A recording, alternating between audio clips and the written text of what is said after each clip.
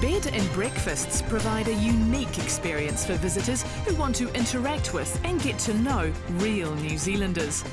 Guests get a taste of life in typical New Zealand homes in either the rural or urban setting.